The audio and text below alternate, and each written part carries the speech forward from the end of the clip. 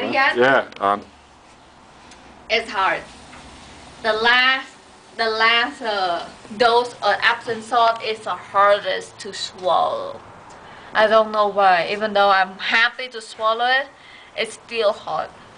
But This I'm one happy. was actually easier for me because I think it's over. You know, I didn't get that many stones.